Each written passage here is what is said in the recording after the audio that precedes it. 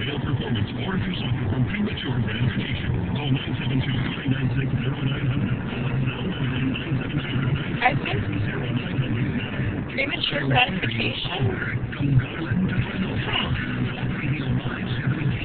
That's what we're calling it now.